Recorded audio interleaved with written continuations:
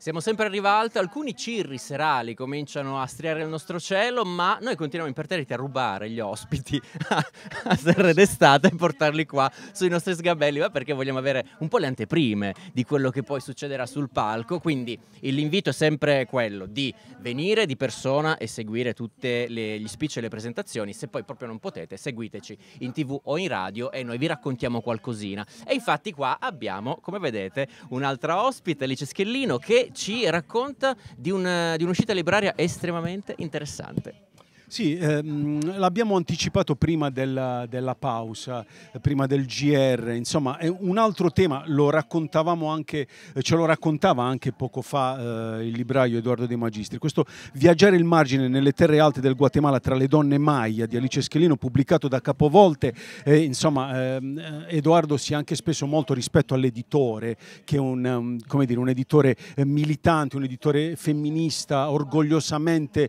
diciamo militante rispetto rispetto ai temi diciamo, che pubblica. E quindi da questo punto di vista anche un occhio eh, di riguardo anche al catalogo di Capovolte insomma sarebbe interessante. Alice ehm, è uno dei versanti diciamo, del, dell'edizione 2024 di, eh, di Serre d'estate, insomma lo sguardo rispetto alle terre alte ma rispetto anche a un gruppo di donne diciamo ehm, orgogliosamente battagliere, io so che sto semplificando moltissimo però evidentemente sicuramente insomma, parliamo di una realtà che eh, dovrebbe come dire, ehm, interrogarci in maniera molto forte, diciamo, i temi, da cosa eh, parte diciamo, il, il, tuo lavoro in questo libro e mh, diciamo, dove ci porta diciamo, questo tuo racconto?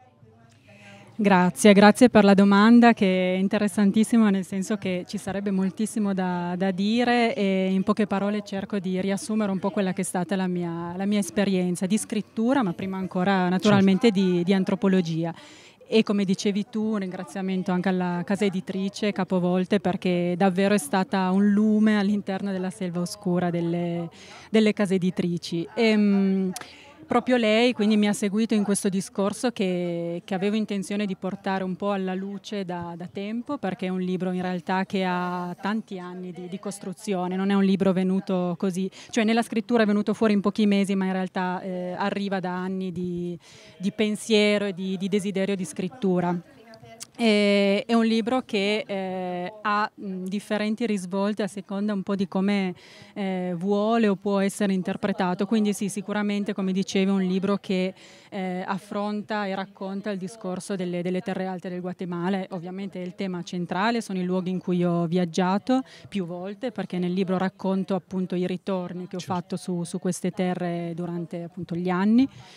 E, ehm, ed è un libro che, eh, come dicevi, affronta molto, racconta molto il tema della resistenza, in particolare femminile, ma eh, come tengo a precisare, come cerco di spiegare anche nel libro, eh, spiritualmente femminile, cioè non delle donne, certo, parlo di alcune attiviste donne in particolare, anche indigene, maya, eccetera, eh, ma eh, spiritualmente femminile vuol dire ehm, un, un, certo tipo di attivismo che riguarda tutte quelle parti marginali della, della società guatemalteca non solo, quindi gli abitanti delle terre alte, gli abitanti delle comunità, le comunità indigene e poi le donne all'interno delle comunità indigene. Quindi... Ti posso chiedere se ehm, sì. rispetto dire, alla realtà di, questa, di, queste comunità femminili, ehm, visto che tu ehm, mi sembra di capire più volte hai incontrato queste comunità, c'è un elemento più degli altri che ti ha colpito diciamo, nella loro attività, nella loro quotidianità, nella loro essenza? Non so se questa è un'altra di quelle domande impossibili, no, però no. insomma mi piace molto farti questa domanda perché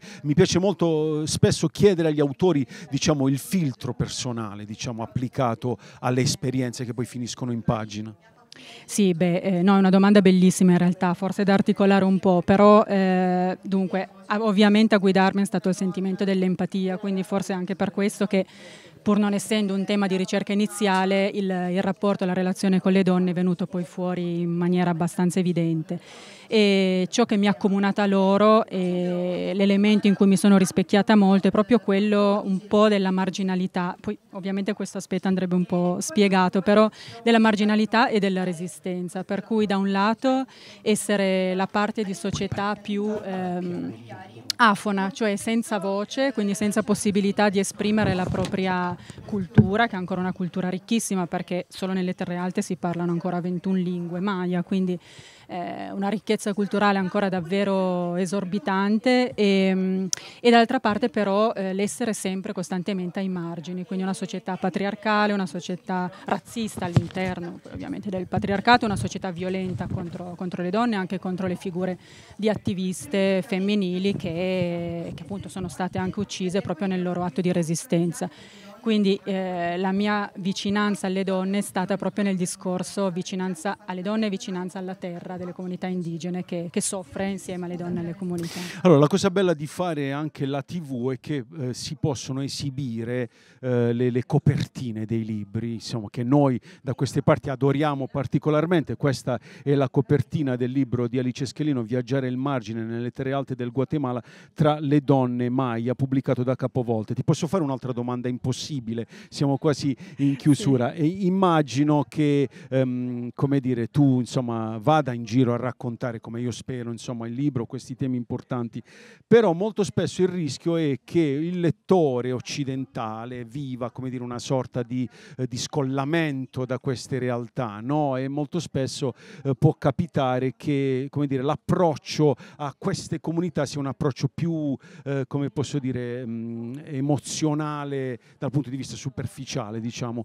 eh, che risposta c'è diciamo, quando racconti questa comunità così battagliera? Diciamo, a me insomma, batte fortemente il cuore pensare diciamo, a comunità di questo genere.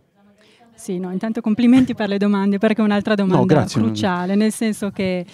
eh, un altro obiettivo della, della, mia scrittura è quello di, di portare proprio il lettore, lettrice eh, con me all'interno delle terre, quindi mi discosto volontariamente, anche perché non avrei potuto fare diversamente, da una scrittura più antropologica in senso stretto, quindi proprio la classica monografia etnografica, ma metto moltissimo di me, quindi le sensazioni, tanto belle quanto difficili, certo. l'estraniamento, la, le difficoltà di, di, trovare un dialogo. E, ehm, e in questo però poi eh, il, il, vero obiettivo che, che, ho e che penso che esca anche in modo abbastanza chiaro è proprio il far comprendere, anche il mostrare un turismo, un modo di viaggiare differente, per cui eh, certo che il Guatemala è anche meta turistica classica, per certo. cui ha le classiche mete e c'è un turismo fiorente in quel senso lì, ma eh, è un turismo come definisco aggressivo e non curante della comunità maya e invece cerco di far vedere che un modo differente di viaggiare è possibile soprattutto, che è importante farlo proprio in terre sofferenti. Ecco, parlando di,